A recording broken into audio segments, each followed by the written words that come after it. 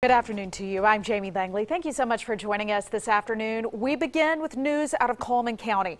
Police are on the scene of a fatal accident on Highway 157. This is in the Battleground community.